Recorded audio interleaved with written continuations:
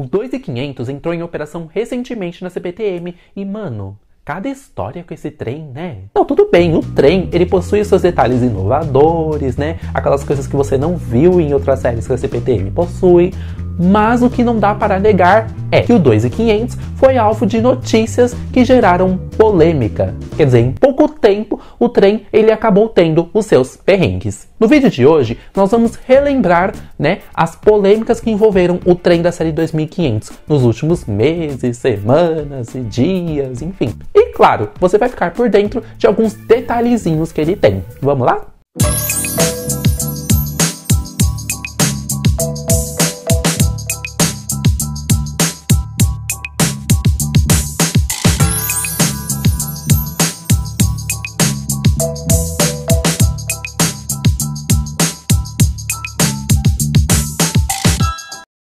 Como já é sabido, o primeiro trem da série 2500 desembarcou no Porto de Santos no dia 5 de setembro e chegou lá em Presidente Altino no dia 13 de setembro. E nessa época estavam falando que a previsão de entrega do trem era dezembro, que a CPTM ia colocar ele no dia 15, só que depois falaram que a intenção era colocar em dezembro, mas não especificaram um dia.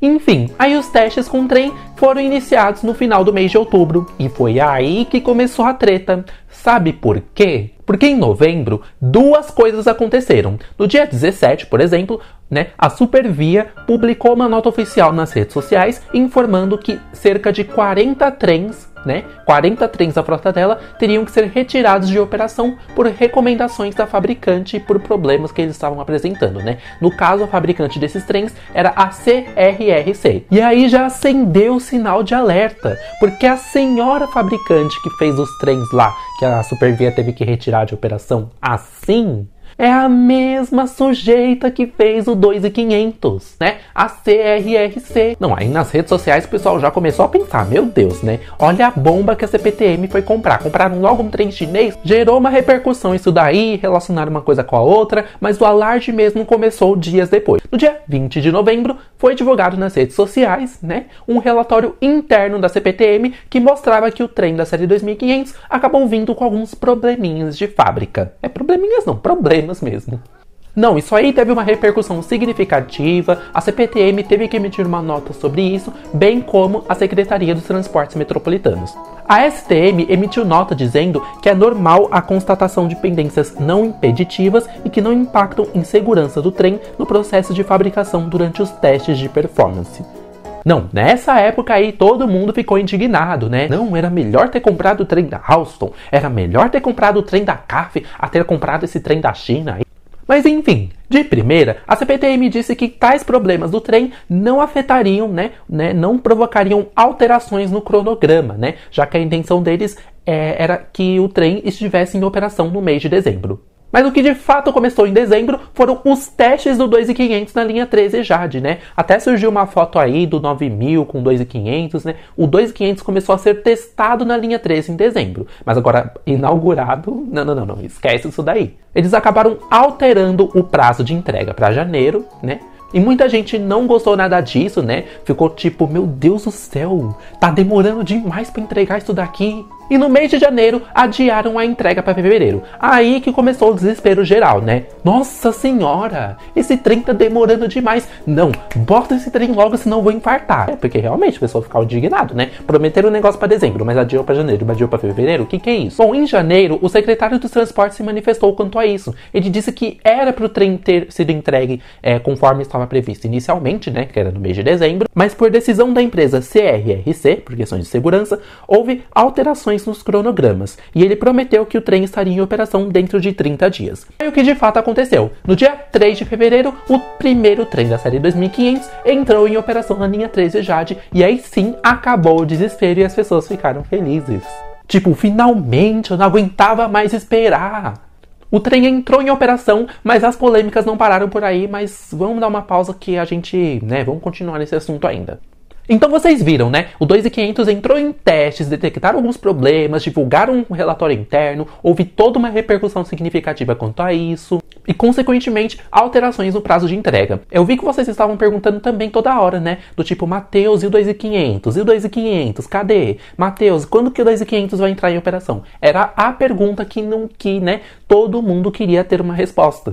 Foi o que aconteceu. Fizeram um alarde aí em relação ao trem chinês, de que ele estava com problema, estava demorando muito. Mas e se eu disser para você que isso já aconteceu antes? Você acredita em mim? Não, porque na época que divulgaram os problemas que o trem estava tendo, eu queria fazer um vídeo, esclarecer para vocês, mas aí eu não tive tempo, mas eu vou falar agora.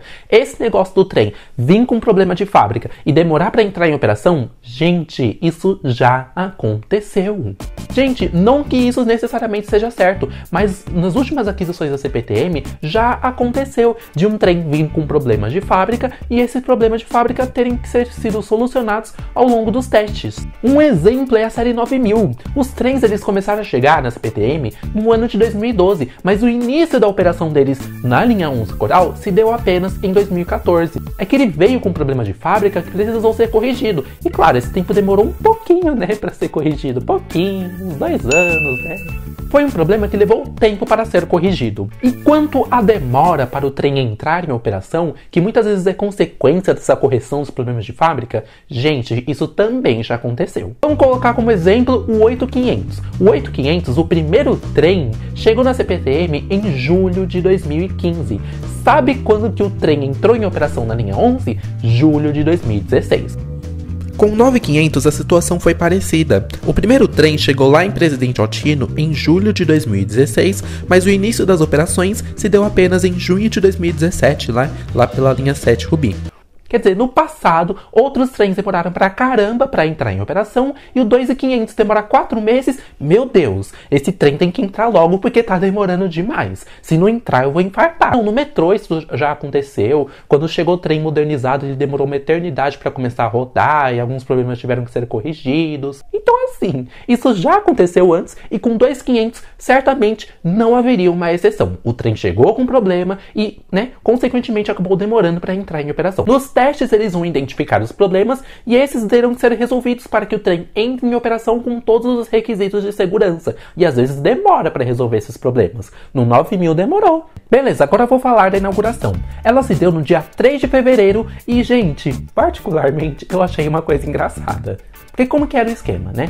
O horário previsto para a partida do trem era meio-dia lá na plataforma 5, que é a plataforma do Airport Express. Aí pensei comigo, não, o 2500 vai sair no horário, meio-dia ele vai estar tá encostando, aí ele vai estrear no serviço do Expresso Aeroporto. Meio-dia, encostou um trem na plataforma 5, sabe qual foi? 9 mil. É a inauguração do trem novo da CPTM, meu Deus do céu. É, a entrega atrasou, tinha uma coletiva de imprensa na plataforma, estavam presentes lá o secretário dos transportes, o, governo, o governador Dória. Aí, beleza, né? Depois, por volta da meio-dia e 20, o trem chinês chegou, abriu porta, a gente entrou, ficamos todos felizes lá dentro. Deu aquele aviso sonoro de que o trem prestaria serviço até a estação Aeroporto Guarulhos, não obedecendo parada nas estações intermediárias, e partimos de luz. Aí quando o trem chegou em Braz, lá na plataforma da linha 11, o trem ele começou a parar. Aí eu fiquei tipo, não, ele vai parar, mas ele não vai abrir porta. Abriu. Não, abriu, gente. A porta do trem abriu. O pessoal da linha 11 entrou. E a gente teve que falar: não, gente, isso aqui vai para o aeroporto, não vai para Goianazes, não vai para Mogi das Cruzes, vai para o aeroporto. Aí o pessoal de Guaianazes tudo saiu do trem, né? É porque o trem abriu a porta lá no Brás para o desembarque do governador, do secretário e de toda a coletiva de imprensa. Beleza, aí o trem fechou a porta, situação resolvida, quem não ia para o aeroporto ia para Guaianazes saiu do trem. Aí a gente foi só seguindo, aí eu pensei, não, agora vai, o trem vai direto para o aeroporto, né? Até que chega um PF lá no metade do trecho e fala assim pro pessoal que tava no carro que eu tava. Ô pessoal, esse trem aqui vai só até Engenheiro Goulart e depois será recolhido. Aí fiquei tipo, quê? Não, aí eu perguntei se o trem tava com problema, se tinha quebrado. Aí ele falou que esse era o procedimento. Não, não, não, não. Olha que bizarro. A gente andou no expresso aeroporto que parou no Braz e foi recolhido em Engenheiro Goulart e que não chegou no aeroporto. Tá aparecendo a linha 13, que é a linha né, onde o 2500 está rodando. A linha que vai para o aeroporto, mas que não chega no aeroporto. Você chega num ponto que você tem que pegar o busão para ir para o aeroporto. Foi muito bizarro, gente, porque na viagem inaugural, o trem da linha 13 não andou no elevado da linha 13, entendeu? Ai, meu Deus do céu. Mas enfim, apesar de ter ocorrido tudo isso, a inauguração não deixou de ser legal. Deu tempo de tirar várias fotos, fazer vários vídeos e até deixar a gente entrar na cabine do trem. Aí o trem recolheu o engenheiro Goulart, fez o expresso aeroporto e depois começou a rodar no parador da linha 13. Fim. Mas logo depois da inauguração, já aconteceu um perrengue aí com 2500. Na noite do dia 15 de fevereiro, o trem ele descarrilou ao sair do abrigo Engenheiro São Paulo. Não, não é possível, gente. Como que o trem descarrila em menos de um mês de operação? É uma coisa que não dá para acreditar. Mas, mas a culpa do descarrilamento não foi do trem e sim da via, né? O 2500 acabou saindo dos trios na área interna do pátio, enquanto passava por um AMV, mas graças a Deus os danos desse trem não foram tão graves e o retorno dele à operação se deu dias depois. Mas apesar de todos os perrengues, o 2500 possui alguns diferenciais. A começar pelo fornecedor. É a primeira vez que uma empresa da China fornece um material rodante para a CPTM. Vou começar a citar os detalhes agora. Em todas as portas há um dispositivo que realiza a contagem de passageiros que embarcam e desembarcam do trem. No caso, né, é, o dispositivo é o contador de acesso. O contador de acesso é aquele negócio preto que fica ao lado da luzinha indicadora de abertura e fechamento de portas, né? Aquela luzinha que sempre pisca quando o trem abre e fecha a porta. Outro grande destaque é o bagageiro, coisa que só tinha nos trens antigos. O 2500 foi o primeiro trem novo a contar com esse recurso se você for comparar com as últimas aquisições. E claro, ele só tem por conta da característica da linha 13, de realizar um atendimento ao aeroporto de Guarulhos. Atender entre aspas. Os bancos dele são um pouco diferentes também, né? São feitos por uma espécie de metal, conforme apurou o portal Via Trolebus. O mapa dele também é uma coisa inédita.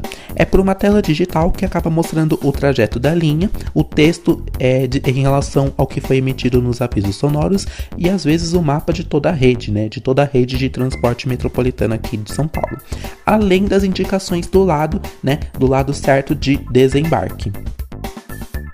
E todas as portas possuem aqueles botões que vão permitir que a abertura delas, né, sejam feitas pelo passageiro e não necessariamente pelo é, sistema do trem de forma automática. É, a ideia é que a abertura de portas seja feita pelos passageiros, a exemplo do que ocorre no VLT de Santos, né? A pessoa aperta o botão, a porta abre, não são todas as portas que abrem automaticamente, a porta só vai abrir se o sujeito for lá e apertar o botão. E o novo trem da CPTM conta com esse sistema. O que eu achei estranho, né? Porque na realidade da CPTM, isso fica meio que impraticável porque o número de pessoas que utilizam o sistema é elevado. Imagina um negócio desse num connect da vida. O trem cheio e o pessoal não conseguindo sair do trem porque ninguém apertou o botão. Não, imagina se esse trem encostasse na plataforma da linha 11 com esse sistema ativo, né? E as portas do trem não abrissem e o pessoal querendo entrar que nem louco para sentar e pegar lugar. Não, é bem capaz da porta do trem cair no chão por conta da força do povo, mas de, né, ninguém apertar o botão para a porta do trem abrir.